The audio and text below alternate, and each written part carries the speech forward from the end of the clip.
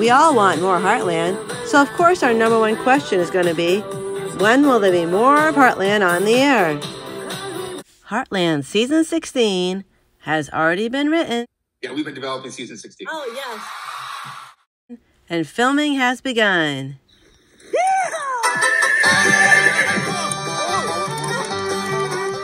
This is in spite of the crazy Alberta weather that has been interfering with production.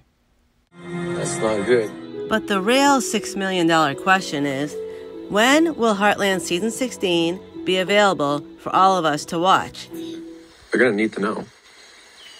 Yeah, but don't you think it's just a little bit too soon, though? I mean, No, it's not too soon, Lou. Calm down. People want to know. When will season 16 be on the air? Well, if you live in good old Canada, you can start enjoying episodes of Heartland season 16 in the late fall, particularly November.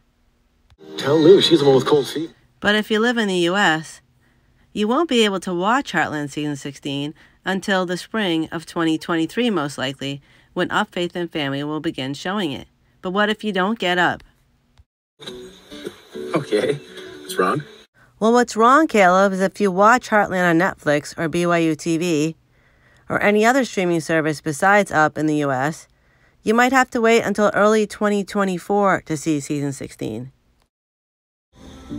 I do this, Grandpa. I know it sucks, but you could always get a VPN if you don't want to wait. More about that in a future video. I hope this video was helpful for anyone who's been asking, when will Heartland Season 16 be on the air? And please like and subscribe for more of these videos. And as always, keep Heartland strong. Bye for now.